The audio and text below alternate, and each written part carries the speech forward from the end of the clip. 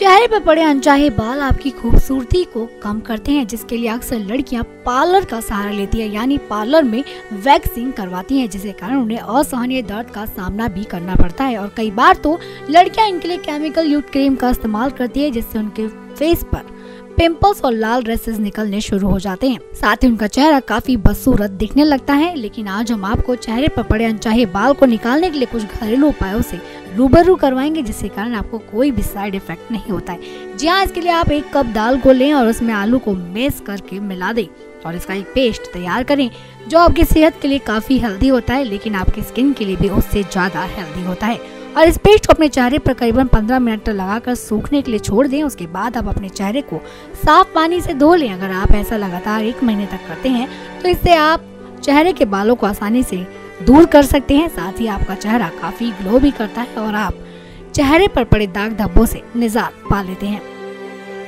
Curran health desk से रानी की report.